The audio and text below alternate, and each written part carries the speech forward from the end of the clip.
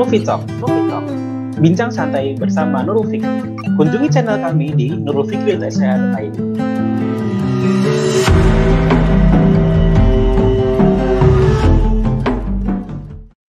Bismillahirrahmanirrahim. Assalamualaikum warahmatullahi wabarakatuh. Selamat pagi sahabat Nufi. Apa kabar hari ini? Mudah-mudahan teman-teman semuanya senantiasa sehat selalu ya. Senang sekali saya Davi dapat menemani Anda pada kesempatan hari ini dalam acara Kopi Pagi selama kurang lebih setengah jam ke depan. Sebelumnya, kami akan menginformasikan bahwa di studio kami sudah menerapkan dan mengikuti protokol kesehatan untuk menghasilkan audio yang jernih, ya, insya Allah. Mudah-mudahan nanti tidak ada kendala. Kami akan melepas masker, ya. Oke. Ya, sahabat Nurul Fikri, pada hari ini di agenda kopi pagi kita hari ini kita kedatangan tamu yang istimewa nih. Beliau adalah praktisi pendidikan anak usia dini. Beliau ada wakil ketua Forum PAUD Kota Depok. Beliau juga sebagai asesor Badan Akreditasi Nasional untuk pendidikan anak usia dini. Ya, beliau adalah Bu Ros Gestasia. Selamat datang Bu Gesta. Ya, Sehat ya Bu? Alhamdulillah sehat. Mudah-mudahan sehat selalu, insya Allah Bu Gesta. Sudah bisa jalan ya, lari ya, normal ya. Naik tangga lah. Oh naik tangga udah kuat ya, insya Allah ya. Karena karena kalau kalau mau vaksin tuh mau ditanya dulu bu, bapak naik tangga turun naik kuat ya, terus ke sana gitu ya. Udah vaksin bu? Udah alhamdulillah. Udah alhamdulillah. Saya udah dua kali. Udah dua kali ya. Iya. Kita Ya. aman, kita aman. Karena kita Aman, juga insya Allah. dibatasin tembok Berlin nih. Iya, itu telah batasan tembok ya. ya. Jadi kita hari ini insya Allah bersama dengan Bu Gesta, ini memang sengaja nih teman-teman, Bapak Ibu, sahabat Nurul Fikri sekalian, kita mengundangnya Bu Gesta, beliau adalah praktisi pendidikan anak usia dini, karena agenda kita pada hari ini tentang mengajarkan anak berpuasa. Karena sebentar lagi mau Ramadan, Bu. Betul, beberapa hari lagi ya Iya, tinggal beberapa hari Iya, lagi, luar tinggal menghitung hari nih. Mudah-mudahan kita disampaikan ya semua. Amin, insya Allah mudah-mudahan kita senantiasa sehat, Sehat. selalu Bu, bisa menjalankan ibadah di bulan Ramadan nanti. betul. Nah, Bu Gesta, Hmm. ini kan Bu Gesta sudah malang melintang di dunia PAUD lah ya. Jangan malang gitu. melintang dong, udah malang melintang lagi. ya, nah Bu Gesta, kan Bu Gesta dari kapan Bu di PAUD Bu? Ah, saya dari tahun 1994. Tahu nggak, Bu? Itu sama si SD Bu. Oh masih SD ya? Hmm. Tapi bukan sejak zaman Nyonya Menir ya? Iya, capek bulan berdiri ya. Berdiri capek. ya, nah, Bu Gesta, kan berarti Ibu udah pengalaman nih, apalagi di PAUD tuh ngadepin anak-anak kecil gitu ya. Nah, ini saya juga punya anak kecil Bu, Oh, iya. umur 7 tahun, satunya 3 tahun, satu anak-anak level PAUD juga Iya, ya. betul, betul. Nah, itu Bu mau ngajarin sholat aja kadang susah Bu, Susah harus ya. sabar gitu ya. Biasa. Apalagi puasa Bu, harus lapar. Nah, lapar nggak makan nggak minum ya? Nah, itu dia. Yang Nah. Emosi bukan anaknya aja, bapaknya. Ikut emosi.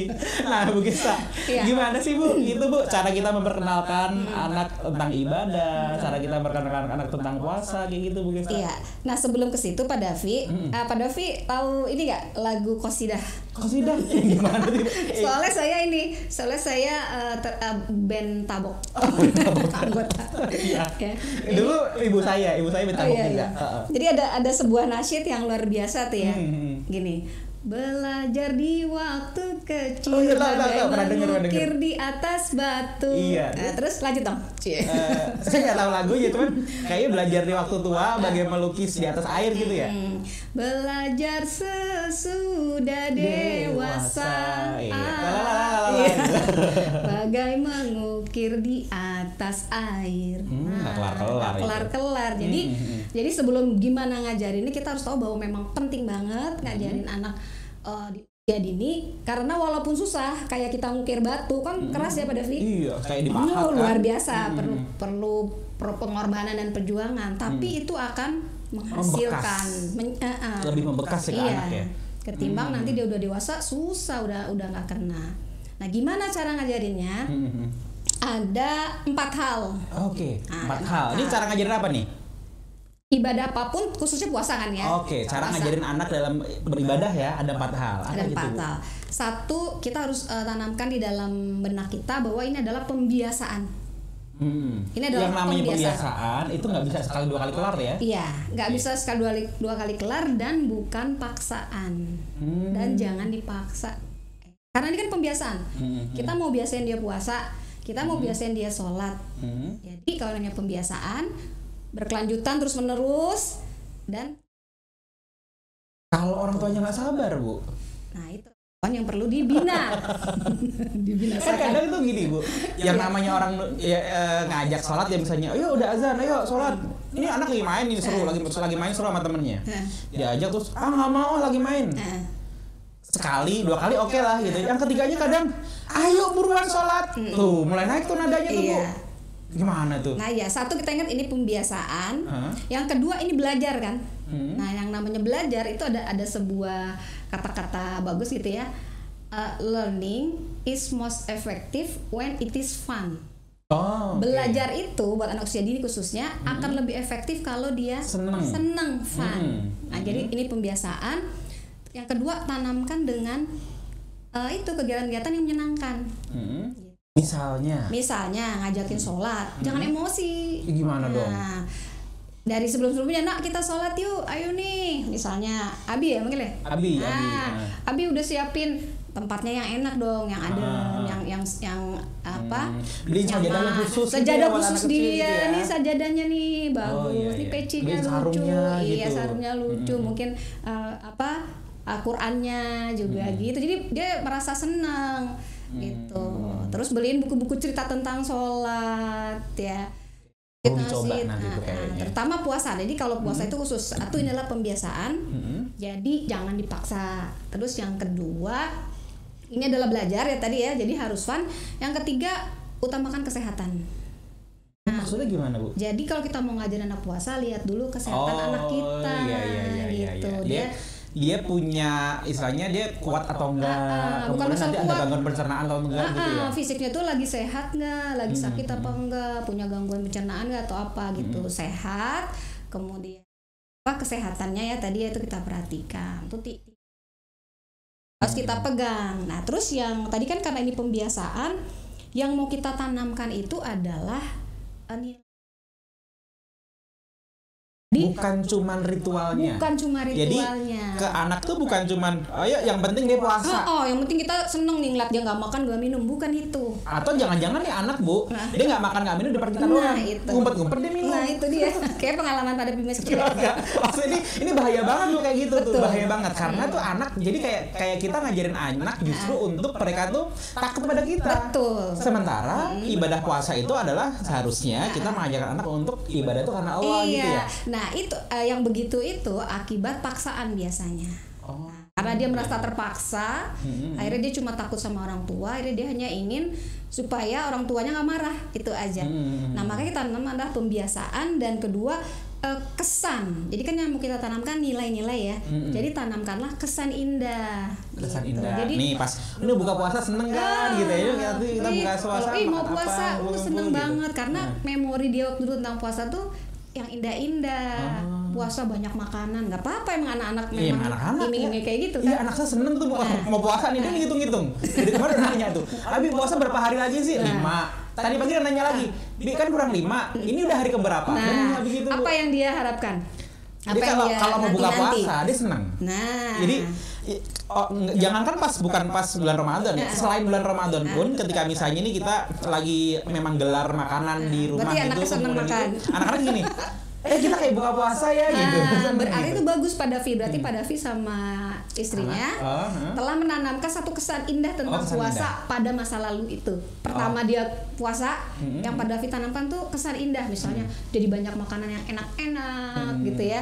Terus apalagi tuh banyak mainan mungkin, terus rumah dihias-hias ya kan. Ah. Nah jadi itu jadi tanamkan kesan indah. Itulah eh, cara kita menanamkan ibadah apa pun pada anak, tumbuhkan kesan. Oke. Karena apa?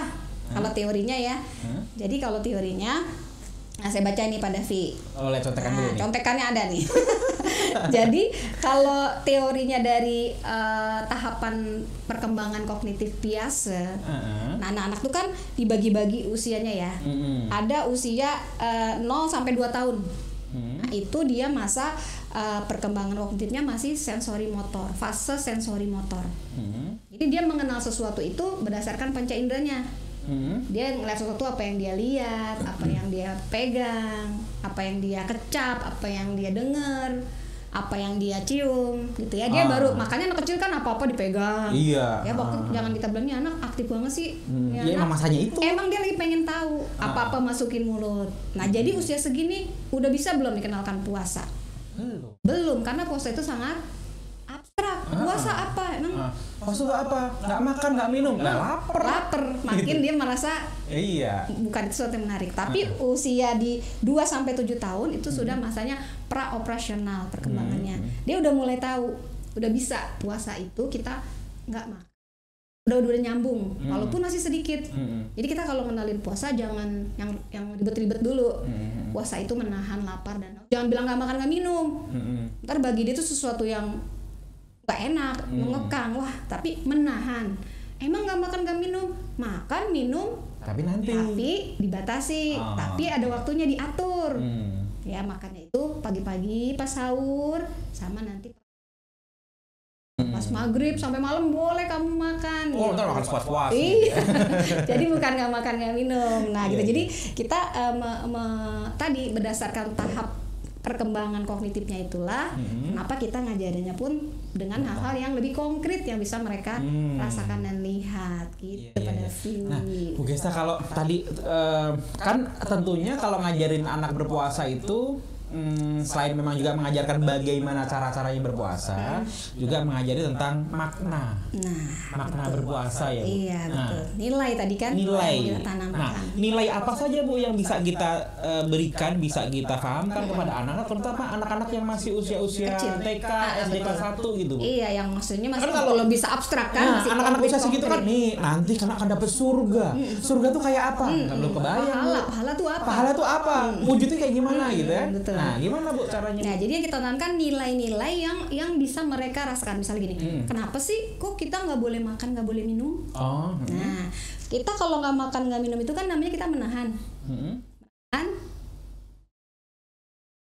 Nahan lapar. Nahan lapar, nahan haus. Nahan haus, Nah, nah, kamu tahu nggak banyak loh orang-orang Oh, luar nyambunginnya ke ini ya, Ah, aspek sosial ah, ya. ah, sosial.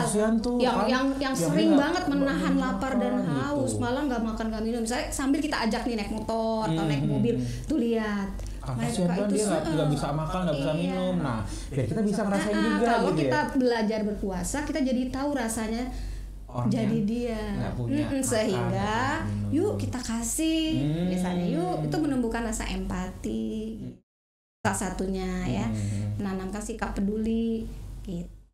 Oke, jadi eh, hikmahnya gitu ya, selain eh, selain memang memberi, membiasakan anak untuk beribadah, juga juga ada nilai yang lain yang bisa kita ajarkan ke anak. Hmm. Eh, nanti kita ajak untuk mereka mengenal tentang lingkungan, diajak ke lingkungan sekitar kita, sosial. misalnya. Nah, yang kemudian- kedua lagi tentang kesehatan. Hmm? Kenapa sih kita harus gak puasa, eh nggak makan nggak minum? Biar kamu sehat. Apa hubungannya? Apa Bukannya malah hubungannya? lapar. Iya. Nah itu dia bu anaknya jadi begitu. Apa hubungannya kan jadi lapar gitu. Nah kita bisa kasih contoh, misalnya nih, mama punya motor, kalau dinyalain terus, Nggak berhenti berhenti. nggak berhenti berhenti gimana? Hmm. Rusak nggak? Rusak. Rusak. Produk gitu motor. Ah, gitu misalnya. atau motor kejauhan deh, mobil misalnya kamu punya mobil-mobilan yang ada baterainya, Hmm, hmm, hmm. kalau dinyalain terus gimana? Baterainya habis. Baterainya habis. Iya. Nah, kita, perut kita, tubuh perlu kita istirahat. perlu istirahat. Ah. Ya, Supaya. makan terus tiap hari kan? Hmm. Nah, kita perlu istirahat. Supaya sehat. Kenapa kita harus tidur? Tadi Itu istirahat. Pak istirahat. Jadi itu kita kita kaitkan dengan hal-hal yang dia yang dia nyambung. alami. Mm-mm. Nah, itu akan lebih mudah ya, Akan Nah, mudah. itu sobat Nurul Fikri. Jadi, untuk mengajarkan anak berpuasa, terutama untuk anak-anak usia dini Iya, ya, Bu ya, itu dikenalkan dengan hal-hal yang biasa mereka alami, hal-hal yang betul, konkret. Karena memang untuk anak-anak usia dini itu nggak bisa ya Nggak dikenal bisa. dengan abstrak yang uh, oh nanti kalian akan dapat pahala, Akan dapat surga. Mungkin mungkin sih kita bisa dijelasin. Tapi bisa jadi nggak akan masuk tuh untuk ke Nah, pemahaman artinya mereka ya. bukan itu tidak boleh kita jelaskan Boleh boleh, ya, itu boleh. tetap kita apa ya artinya tetap kita kan otaknya dia kan menyerap apa pun Hmm. itu tetap kita kita sampaikan tetapi hal yang konkret hal yang nyata yang bisa dia pahami dengan jelas itu itu perlu kita tanamkan Hmm, Oke, Bu. Nah, biar, kan tadi kan udah Ibu Gesta ngejelasin tentang ini ya pembagian usia ya. Berarti untuk anak eh, mulai diperkenalkan puasa itu berarti usia-usia tiga tahun ke atas ya kira-kira ya. Nah, Tiga Pak ya? Bagus pertanyaannya. Lulus. Jadi Dapat door prize. Dapat door prize. Jadi kita mengajarkan anak berpuasa itu eh, patokannya bukan usia. Oh, jadi? Nah, karena se- perkembangan setiap anak itu berbeda-beda. Hmm. Pak Davi bisa jalan umur berapa? Lupa saya. Lupa. Tapi anak saya bisa jalan saya ingat. Ah, umur berapa? Coba, Anak saya yang anak pertama, pertama sama itu saya bisa jalan itu belum setahun, jadi masih sekitar 10 atau 11 bulan itu udah bisa jalan. Ah, Anak kedua itu satu tahun setengah Nah. kurang lebih baru bisa jalan. lebih lama ya. Iya lebih lama. Ah. Anak ketiga lebih cepat, sekitar setahun lah, eh, sekitar 12 atau 13 bulan udah bisa jalan. Nah, gitu Pak Davi. Jadi perkembangan anak walaupun usianya sama, itu Hmm. ritmenya akan berbeda. Setiap anak nggak sama ya, tergantung Hmm. banyak hal ya. Nah, begitu juga puasa, patokan kita nggak bisa usia. Hmm. Kalau secara dari daya pikir tadi ya, perkembangan kognitif mungkin kita bisa lihat sekitar tiga tahunan nih kayaknya mereka udah mulai ngerti. Hmm. Tapi kalau kalau patok simple yang gampang banget itu Hmm. adalah ketika mereka sudah bisa ketika Makan mereka sendiri. udah bisa mandiri makan sendiri. Makan sendiri itu kan bisa duduk, Hmm. bisa pegang sendok Bisa sendiri, duduk, bisa pegang sendok, nggak berantakan. nggak berantakan dan bisa memilih Ah. makanan yang dia mau. Oh. Kenapa? Ayo, tahu nggak? Kok patokannya bisa makan sendiri? Harusnya pada sih yang nanya, oh saya. Ya, nggak apa-apa. Ah, nggak apa-apa kan berarti kan saya nebak ya, saya Ah, nebak. coba, kenapa? Karena di usia itu berarti, ini saya nangkap ini, eh, itu anak berarti dia sudah selain tadi tadi mandiri, tuh anak dia bi- sudah bisa mengendalikan saraf motoriknya, Hmm. gitu ya. Jadi Ah. kan makan tuh berarti dia sudah bisa mengendalikan, oh tangannya harus ke sini, itu. Kemudian apalagi ya? Dia bisa bertanggung jawab. Ya. Saya bertanggung jawab eh, ketika saya ngambil nasi segini, saya harus habisin segini. Tuh. Apalagi ya? Lagi. Susah. saya. Apalagi? Tapi betul, itu betul. Tapi uh, ada yang lebih pas adalah ketika anak sudah bisa makan sendiri, dia itu uh, sudah tahu sinyal. Hmm. Dia udah bisa menangkap sinyal kapan dia lapar, Hmm. kapan dia kenyang, Hmm. ya. Kalau anak yang belum bisa makan sendiri, dia tuh uh, nggak peka terhadap sinyal rasa lapar dan rasa kenyangnya itu. Karena Hmm. apa? Misalnya Pak Davi nyuapin anaknya nih, uh, se ini sepi, Se- semangkok, sepiring, ya. semangkok bubur. Menurut Pak Davi, anak Pak Davi umur 2 tahun nih Ah. cukup nih segini. Ah. Padahal dia tuh sebenarnya kekenyangan. Ah. Karena takaran kita eh, mangkok bubur ini, kalau belum habis terus saya kita suapin kan. Ya, pokoknya suapin Wah. terus gitu ya. Akhirnya anak nggak punya eh, nggak bisa menangkap sinyal itu, dia belum bisa. Oh. Atau iya. menurut Pak Davi semangkok ini cukup, padahal dia masih kurang. Hmm. Ketika udah habis Pak Davi udah, padahal anaknya masih lapar. Tapi ketika anak sudah bisa mandiri makan sendiri, dia sudah peka terhadap sinyal itu. Jadi dia udah tahu, Mama aku mau nambah.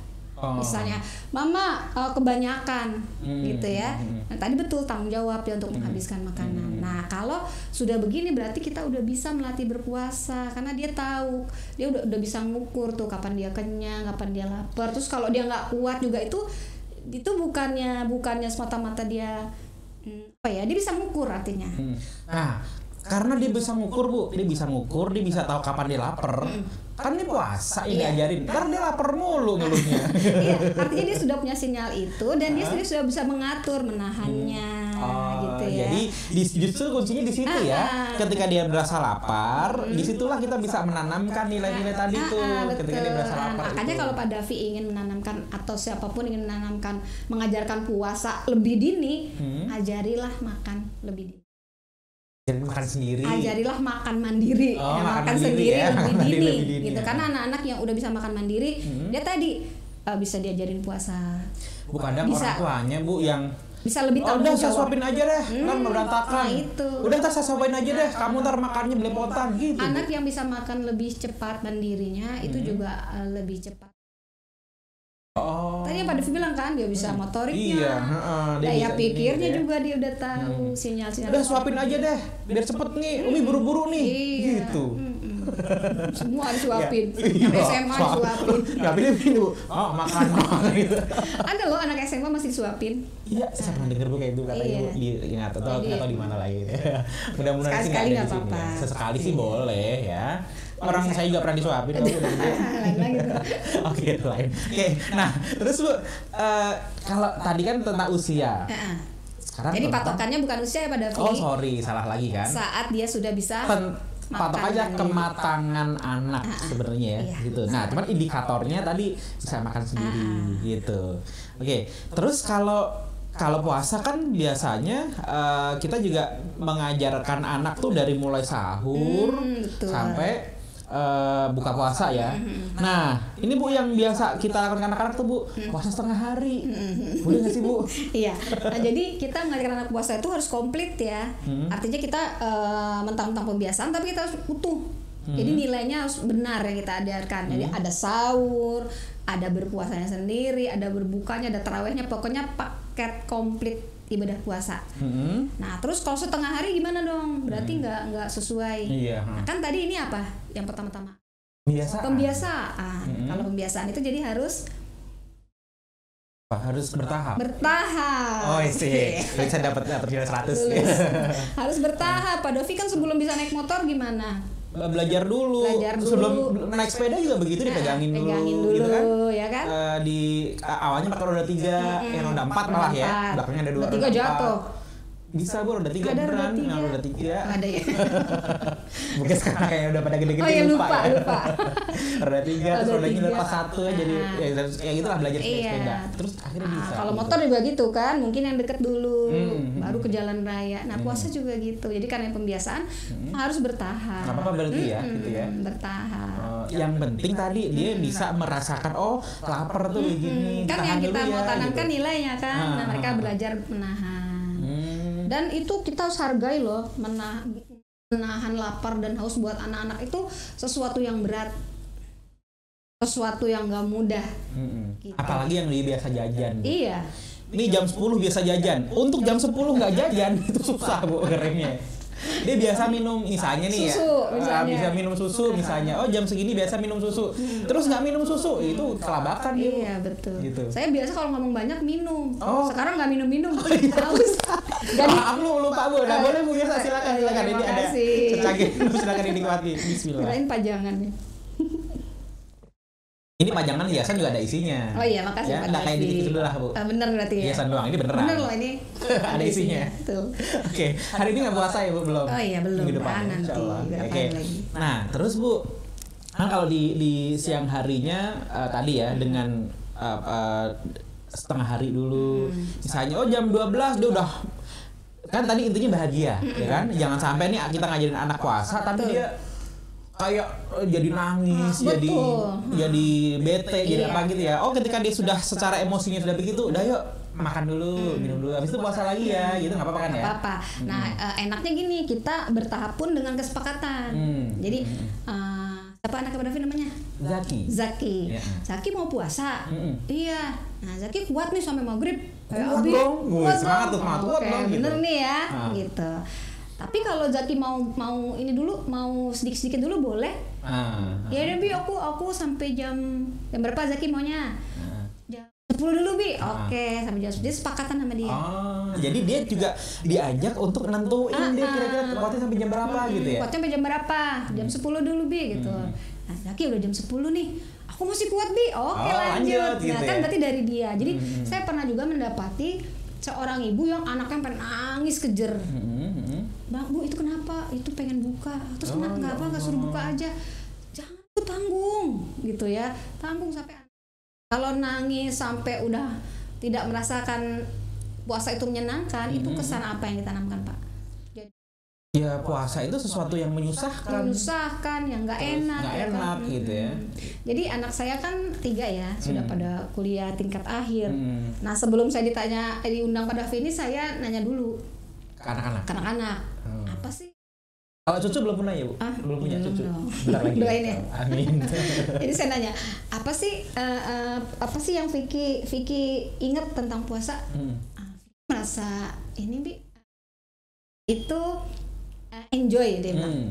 Dia nggak merasa beban, malah dia tuh suka gini karena Umi tuh suka nanya-nanyain mau buka nggak mau buka nggak gitu ya. Hmm. Kata dia pernah pulang sekolah dari TK ke rumah jalan kaki sampai rumah dia panas. Kayak panas, Oh, panas. ngos-ngosan, keringetan gitu. ya. Oh, Umi aus, mau buka gitu. Ah. Akhirnya buka. Ah, ah. Nah, besoknya begitu lagi saya tanya, kenapa kuat nggak? Ya namanya anak ditawarin Ah. gitu kan, Iya, dia tergoda. tergoda dong Ah. buka nah akhirnya dia mikir wah kalau aku nunjukin nggak kuat Mm-mm.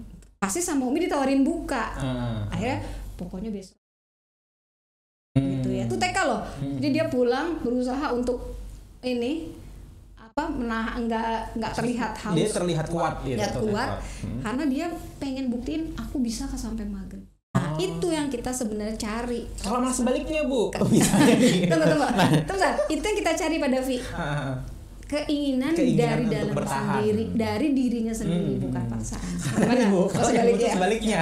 Duh, enak nih. Umi saya nih kalau saya ngeluh, sabar saya berusaha buka. Nah, pas dia pulang sekolah bu, sampai rumah. Pura-pura. Padahal dia biasa aja bu. Pas sampai rumah dia bilang, aduh panas banget nih, aduh haus nih, harus Nah, buka. iya. Besok begitu lagi. Tiap hari dia buka mulu. Bu. Nah, tapi itu menarik. Dia juga bilang, Hmm. tapi Vicky heran ya, kok Umi itu dengan cara seperti itu nggak membuat Vicky jadi mau memanfaatkan Hmm, memanfaatkan eh, tawaran itu. eh, eh, sikap Hmm. ibunya. Nah, karena kita juga nggak nggak serta merta, kamu lemes buka aja ya, Oh. bukan. Kita bergending sama dia. Hmm, hmm, hmm. Vicky masih kuat nggak? Hmm. Gitu. Jadi kita tawarkan. Kan kita juga lihat kan. Oh, lihat ya, Lihat, secara ah, fisiknya juga Hmm, gimana. Kalau misalnya gitu. udah nggak kuat benar. Oh ya terus gimana mau buka? Mm-mm. Mau buka apa enggak? Tetap tetap itu kita ke dia. Mm-mm. Tapi kalau misalnya Vicky buka berarti ini dong. Kali puasa. eh, berarti iya. udah salah ini dong gitu. Tetap jadi kita tetap ketika keputusan itu buka, Heeh. jadi dia nggak merasa malah manfaatin nih. Jadi juga ada sisi-sisi memberikan motivasi di Iya. situ ya bu. Ya, oke, oke, Artinya oke. yang kita tanamkan itu adalah bahwa kita tuh empati sama dia. Itulah rasa yang didapetin anak. Oke. Terus sekali. Satu lagi bu. Apa tuh yang apa Yang su- rada susah bu. Sahur. Nah, Yang namanya bangunin anak sahur tuh bu, ampun-ampunan bu. Yang na- orang bangunin dia jam 5 setengah namanya susah bu. Iya. Apalagi banguninnya sebelum subuh. jangan-jangan istri Pak Dapi susah juga bangunin pada sahur. Ya. malu. Iya bu, anak-anak yang udah gitu kan ngantuk-ngantuk gitu kan. Ayo bangun sahur bangun. Eh, mungkin awal-awal kadang semangat-semangatnya, tapi udah besoknya, udah besoknya itu udah kadang suka suka males Iya, gitu. Nah, gimana bu? Baik, satu sahur semua semua ibadah puasa dari awal sampai akhir adalah pembiasaan ya pada Via. Jadi kuncinya itu. Kuncinya satu pembiasaan, satu. Oke. Tapi yang kedua, ketika kita mau sahur pun sama kayak puasa, kita harus tanamkan dulu pengetahuannya. Hmm. Ibadah apa pun kita tanamkan dulu pengetahuannya. Jadi mereka tahu, oh, aku puasa itu karena sahur tuh karena begini. Karena kenapa sih aku harus sahur? Eh kalau tadi kan kenapa sih aku harus puasa? Heeh. Ya kan? Hmm. Tadi puasa Mm-mm. supaya kita sehat ya kan? Supaya kita tadi bisa menahan kita tumbuh empati, tumbuh rasa Hmm. peduli kayak gitu. Nah, kalau sahur, kenapa harus sahur? Itu kita tanamkan juga Hmm. supaya kita kuat, nak, ya kan? Kuat puasanya. Kuat puasanya, nggak makan dari pagi sampai sore, kita kuat. Nanya gini bu, ya udah makannya jangan pagi-pagi, Hmm. jam 7 aja kita makan. yang namanya anak-anak bu, anak-anak tuh dia eh, apa ya, memang rasa ingin tahunya tinggi. Iya, betul. Terus juga dia ya se- yang sebagaimana dia alami. Kalau puasa biar kuat, ya jangan pagi-pagi, makannya jam 7 Itu anaknya pinter kayaknya tuh. Daya nalarnya ya. Gimana gitu? Iya, Gimana? bagus iya. Nah, makanya kita tadi tanamkan dulu pengetahuannya ya. Oh, pengetahuannya Ah. bahwa yang namanya puasa Ah, eh, ada itu sahur. sahurnya Ada Ah, oke, sahur oke. yang namanya puasa, makannya itu bukan jam 7. Ah. Yang namanya puasa makannya itu sebelum subuh. Mm-mm. Gitu, itu namanya puasa, gitu ya. Itu namanya sahur. Dan kita tanamkan pengetahuannya juga dengan cara yang fun tadi. Mm-mm. Ya, misalnya dengan lewat buku, kita setelin video-video Video banyak kan. puasa gitu Nah, ya. apa lagu-lagu? Ada kan lagu yang apakah arti puasa? Iya. Puasa Menahan menahan lapar. lapar. Terus puasa Menahan haus. dari subuh Sampai maghrib. Oke, itu gitu. satu pengetahuan Itu satu sebenarnya. Jadi pengetahuan. ketika- tanpa sadar tanpa sadar dia sudah kita sudah memberikan memberikan informasi kepada anak bahwa yang namanya puasa, Puasa itu dari subuh sampai, sampai maghrib. maghrib. kecuali subuhnya Nah, kesiangan ah, nah, tapi tadi kita itu kita kasih tahu pengetahuan. Jadi dia udah udah bawa udah nangkep bahwa iya. oh harus sahur, ada yang namanya sahur. Nah, terus sebel berarti pola tidurnya juga harus kita ubah. Hmm. Tidurnya kita cepetin, Dimajuin ya, supaya dia bisa bangun lebih awal. Nah, dan sebelum tidur itu kita ingetin lagi. Hmm. Besok kita mau puasa ya, besok kita mau Hmm. sahur. Hmm. Ade mau bangun jam berapa? Biar terekam tuh di Mm-mm. memori ya ketika dia Kalau tidur ya. Abi nih mau bangun jam 3 Mm-mm. Ade Abi bangunin ya, Mm. gitu. Setel alarm ya.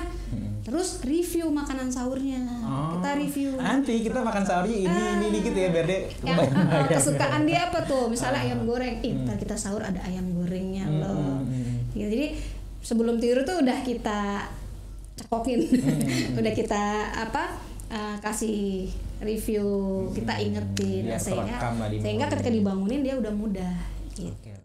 tapi kalau nggak bangun juga Guyur. sadis Ada di orang tuanya nggak sabar banget ya. ada Bu. ada begitu pak. Dicipratin air atau diangkat. Hmm, digendong, digendong. dibawa ke situ Iya, gitu ya. itu nggak efektif. Oh, efektif. itu memaksa. Itu bahkan nggak boleh maksa. Hmm, hmm. ya kita bangunin bangunin juga dengan lembut. Jangan pakai tentungan tong tong sahur sahur. Woi, bangun bangun bangun nggak begitu ya? Ah, dek sahur dek coba Zaki Zaki sahur. Ya ayam gorengnya udah mateng nih. Hmm. ayo ayo. Misalnya gitu ya "Eh, bangun bangun cepetan mau subuh mau subuh. Jangan. Banguninnya tuh eh, banguninnya jadi jangan mepet juga ya agak jauh karena kan Hmm. bangunnya lama. Hmm, hmm.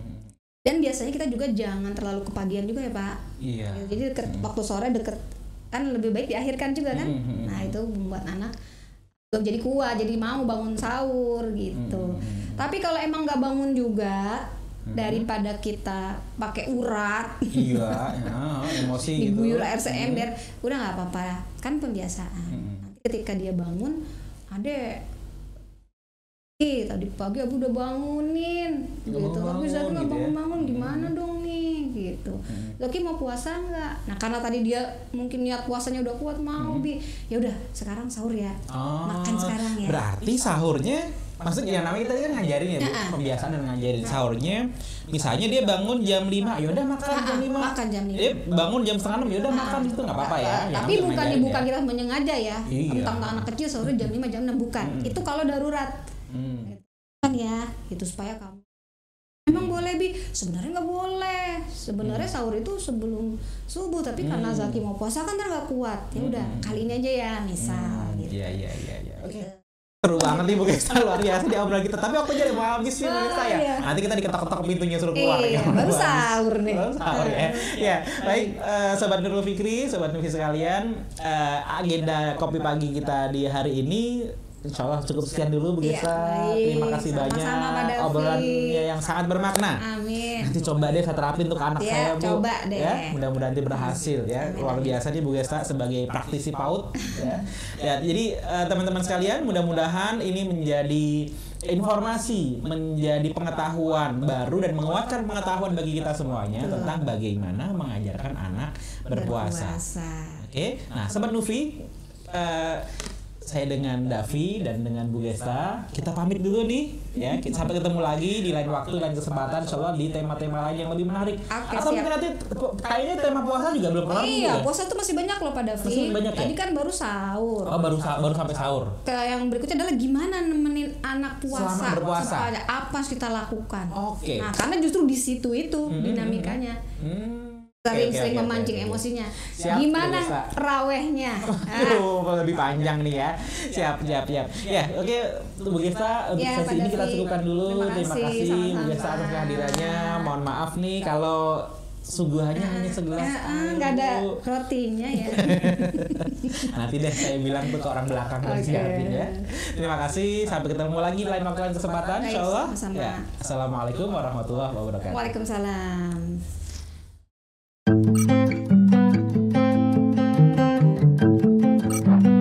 Movie Talk. Movie Talk. Bincang santai bersama Nurul Fikri. Kunjungi channel kami di nurulfikri.sh.id.